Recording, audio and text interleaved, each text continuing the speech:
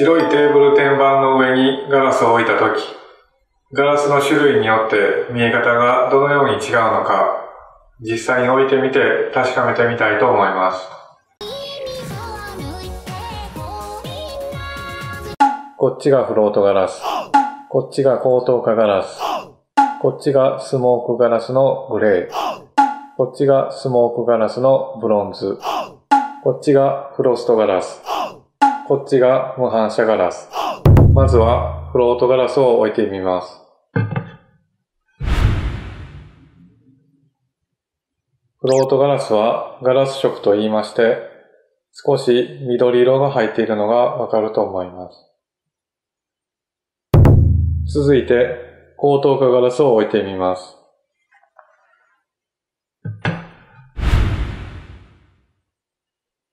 高等化ガラスは、フロートガラスの緑色の成分を少なくしたガラスです。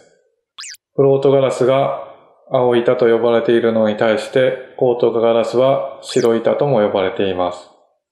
続いて、スモークガラスのグレーを置いてみます。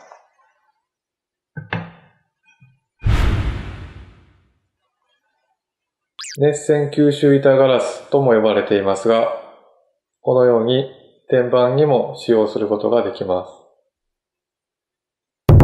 続いて、スモークガラスのプロンズを置いてみます。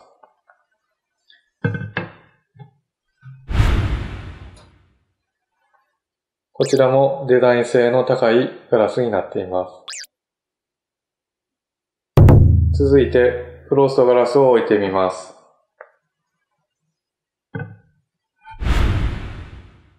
フロストガラスとは、すりガラス状のガラスで、片面がザラザラになっています。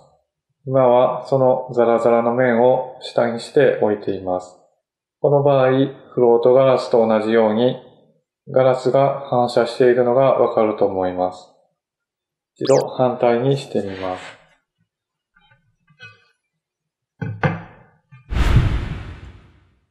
このように反射が気になる場合は、ザラザラの面を上にしておくと反射防止になります。続いて、無反射ガラスを置いてみます。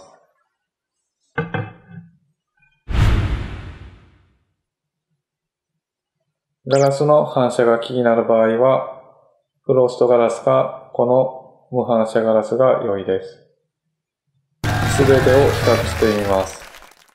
テーブル天板に使用する場合、強化フロートガラスがコスト面でも一般的ですが、用途や好みに合わせて高等化ガラスや色付きガラス、またフロストガラスなどもご検討いただければと思います。いかがでしたでしょうか？こちらのガラスはテーブル天板のサイズに合わせて製作が可能です。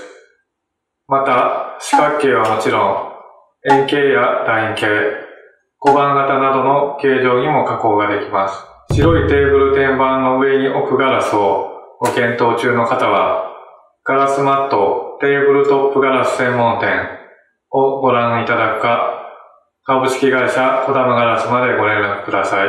この度は最後まで見ていただきましてありがとうございました。